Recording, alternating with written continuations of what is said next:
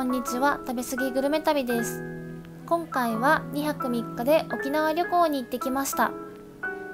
沖縄の動画を出すのは何本目だろう？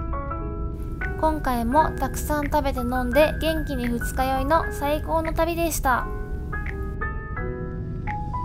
おすすめのお店や観光スポットなどをたくさん紹介していくのでぜひ最後まで見てもらえたら嬉しいです。それでは早速紹介していきます。宿泊場所はここ。大和ロネットホテル那覇国際通り。ユイレール牧師駅直結。徒歩約1分と国際通りに面した絶好の立地。フロント階にアメニティバーがありここで歯ブラシなど必要なものを持っていきます。お部屋にはマッサージチェアがあったけど毎日酔いつぶれていたので1回も使えませんでした。荷物を置いて早速飲みに行きます。ホテルの下にはロピアやファミリーマートがありとっても便利。最初のご飯はここ。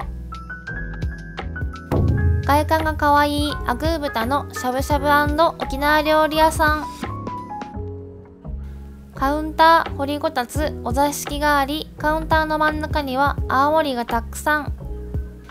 事前にネット予約をしていきました。まずはやっぱりオリオンビール。うますぎる。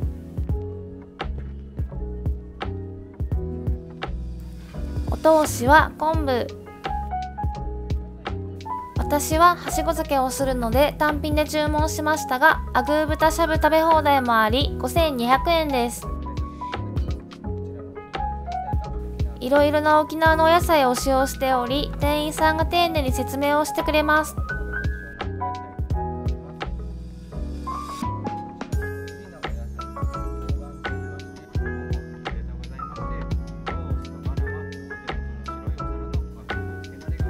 よって和風だれかシークワーサーだれを使い分けます。いただきます。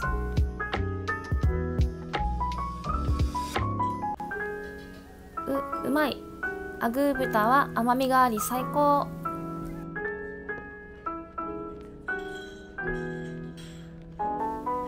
そしてオリオンビールを流し込む。幸せすぎる。メンチカツとコロッケは1つ200円。リーズナブル。サクサクジューシーでこれまたビールが進む。揚げ物とビールの組み合わせって最高だよね。このお店ビールがキンキンで最高。つけだれも美味しくて無限に食べられそう。締めの雑炊は0.5人前にしてもらったよ。シンプルに卵とネギが美味しいよね。接客も素敵だったのでぜひ行ってみてね。あお土産でサーターアンダギーをもらった。こういうのも嬉しい。オリオンビールのバーを発見したんだけど次の予定があり行けず。気になる。まだまだお酒を飲むぞ。2軒目はここ。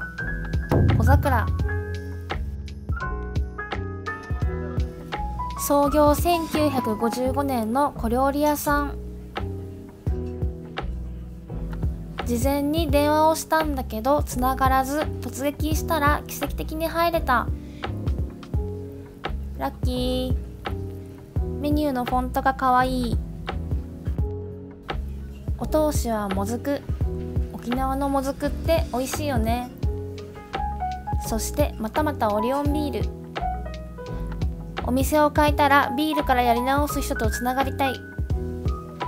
このもずく普通のと違ってごま油を使用しているぽかった。美味しい。海ぶどうも外せないよね。青森も克服したから飲めるよ。実は前までは飲めなかったんだけど無理やり飲み続けてたら飲めるようになった。苦手なものを食べ続けたりすると案外克服できたりするよね。青森苦手な人も飲み続けてみよう。沖縄料理と相性抜群で最高だよ。スルルーの南蛮漬けスルルって名前なんかかわい。い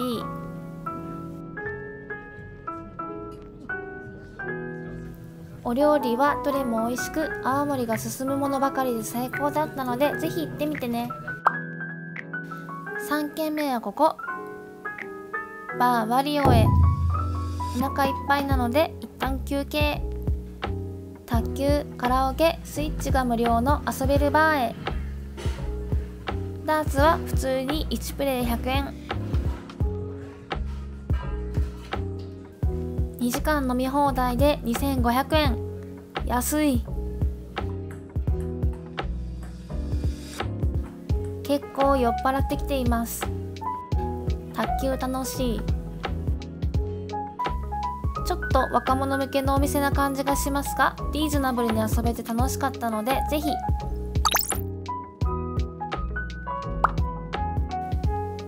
最後はここ。B 級酒場フリームーンへ。たまたま見つけたお店だったんだけどめちゃくちゃ良かった。普通に居酒屋かと思ったけどダーツやカラオケなどもできるみたい。ってことでまずはハブ酒。オリオンビールじゃないんかい。個人的にテキーラよりもハブ酒の方が飲みやすいんだけどみんなはどう？店内もとってもいい雰囲気。あまり観光客の方はいなそうで穴場かも。動画じゃ伝わらないこの出方コスは1個300円。隣のお客さんと店員さんとハブ酒を乾杯したり楽しかった。おはようございます。今日は人生初めてのパラセーリングへ。今回はハッピーアイランドというところを利用させていただきました。スケジュールはこんな感じで11時発ので予約をしました。料金は事前予約をして6500円。こちらでは贅沢貸し切りサンセットパラセーリングというプランもあり1名から6名まで貸し切りすることができお値段は税込5万円。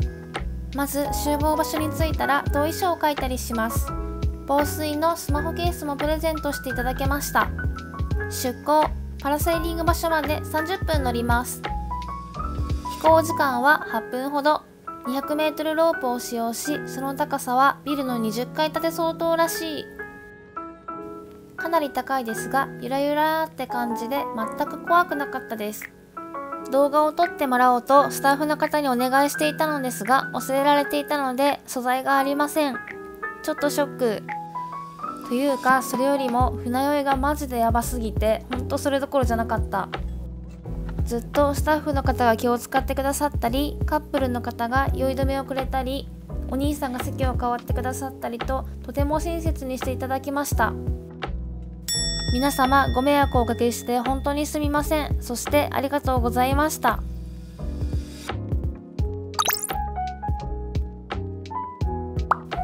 ランチへ行きます。コモンズステーキへ。やっぱり沖縄といえばステーキだよね。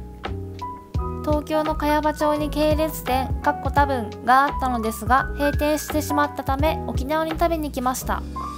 こちらはライススープサラダが食べ放題でプラス150円で牛すじカレーも食べ放題という嬉しすぎるサービス。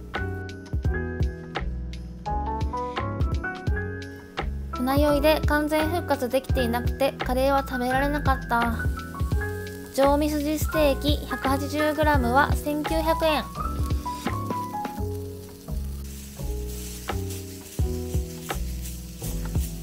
この鉄板の音も最高だし超美味しそ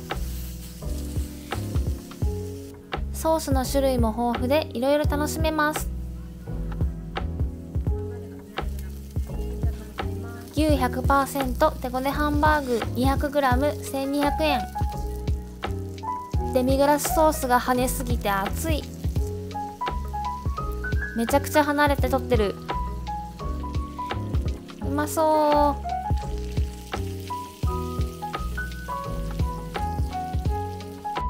う。それではいただきます。化粧品写す時のやつ。オリジナルスパイスをかけました。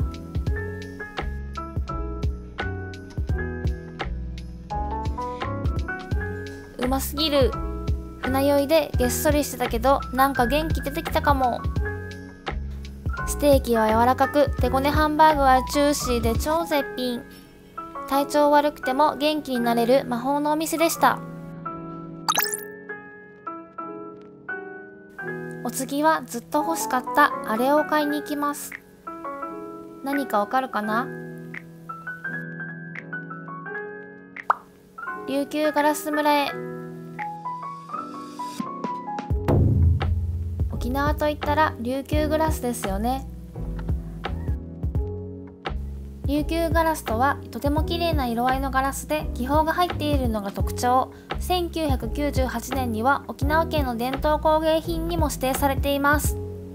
こちらでは琉球グラスを作ることができたり購入することができたり様々な体験をすることができちゃいます。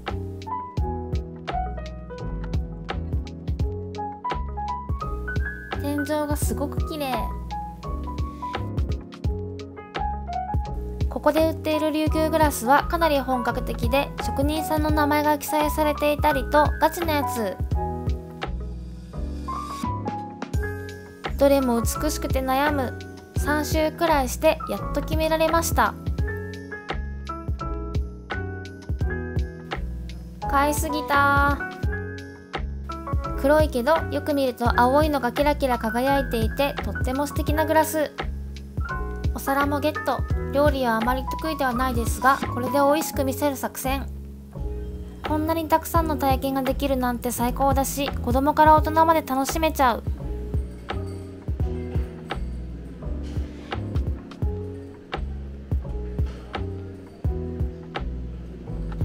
このミニパーツ可愛すぎて沼。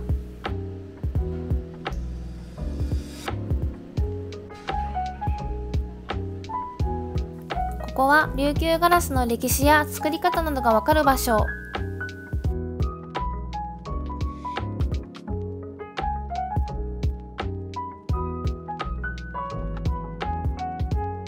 世界最古のビー玉まであった。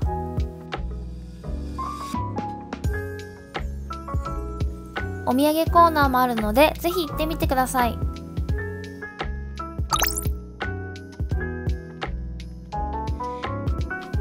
ご飯は県庁前駅までユイレールで移動。4ドア分しかなくめっちゃ混んでて東京並み。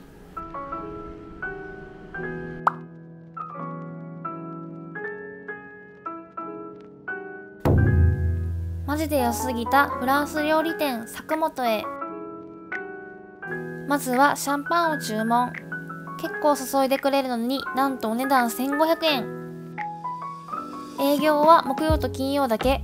カウンターは4席のみなんだけど満席にしたくないらしくまさかの私たち1組だけ。ちなみにワイン飲めない人はお断りなので注意。キャビアたっぷり嬉しい。ミーバイと大量のアスパラガス。この食べると相性抜群。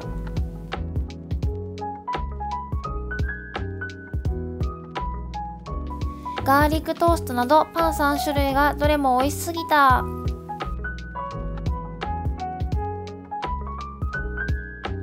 メインは石垣のシャトーブリアン。もう何これでか贅沢すぎ。食事中に遊びに来た鳩2匹ずっとこっち見てた。シャンパン3杯白3杯ロゼ1杯ボールのボトル1本飲んでお会計は2人で6万円台。ワイン好きならファンになること間違いなし。また絶対に行きたい。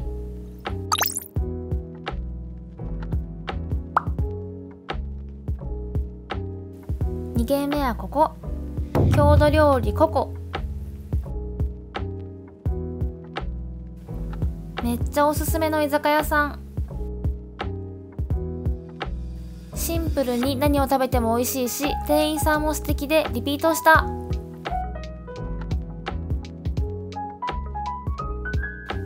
強制青森乾杯。三振の生演奏を聴くことができます。三振の花をリクエストしました。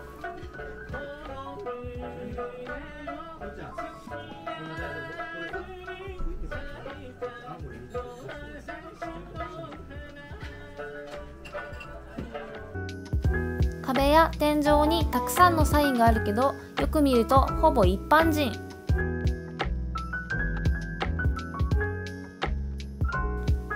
ジーマミー豆腐も好き。ソーキ味噌煮も好き。ゴーヤチャンプルが本当に大好きすぎる。程よい苦みがたまらない。沖縄料理は当たり前に美味しいんだけどハンバーグも絶品でおすすめ。このお店の名前がわからないけどここで出会ったお客さんほぼ東京済みだった。そしてさっき出会った東京済みのお客さんたちとそのままスナックへ行きました。来月東京で飲む約束もしました。3日目のランチはここ。中本鮮魚天ぷら店へ。下の天ぷら屋さんは人がたくさんいたけど店内はぼちぼち。メニューはこんな感じ。このお店もずく食べ放題なんです。魚フライ定食を注文。タルタルが少なくソースがなかったのがちょっと残念かも。でも美味しいもずくが食べ放題は最高だった。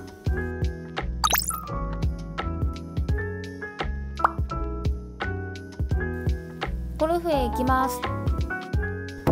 沖縄のゴルフ場といえばここだよね。T がシーサーなのが可愛い。不審者スタイルで日焼け防止。ここのゴルフ場好きなのですが詰まりすぎて前半3時間くらいかかった。アコーディアあるあるですかね。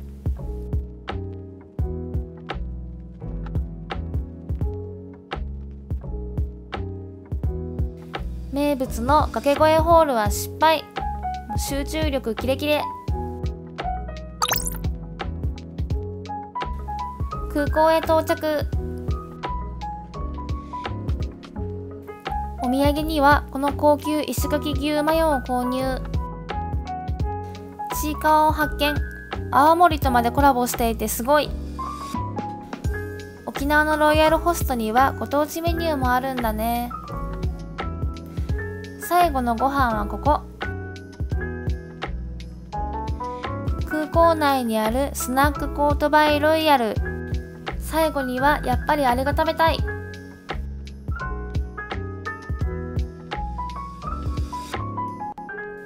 タコライス。